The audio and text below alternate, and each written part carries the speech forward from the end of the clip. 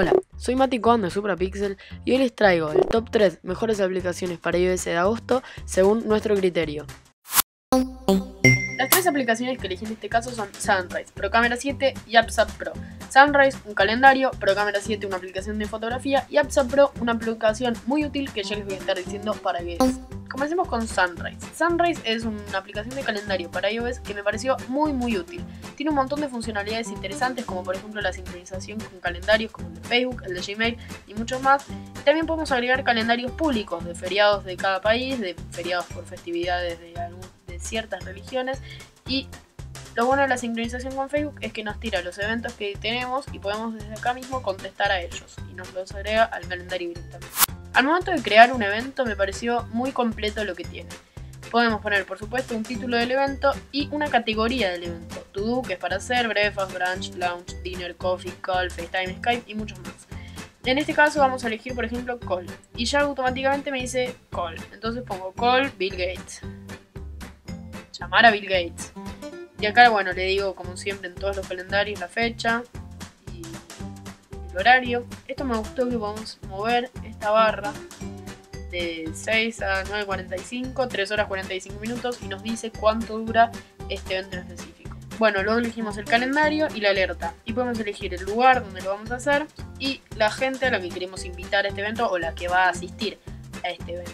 Lo agregamos y ya lo tenemos. La segunda aplicación que vamos a ver es ProCamera 7. ProCamera 7 es la aplicación que yo uso para tomar fotografías en mi dispositivo, ya que me parece la más completa en el App Store tiene un montón de funciones. Lo más llamativo que podríamos ver es el histograma que nos aparece arriba, que está a tiempo real, la velocidad de obturación y la sensibilidad ISO con la que va a tomar la fotografía. Esta es toda la lista de opciones que tiene. Rapid Fire, que sería un disparo continuo, balance blancos, histograma, eh, grids, telemetría, un montón de cosas súper útiles para sacar fotografías de una forma un poco más profesional en nuestro dispositivo.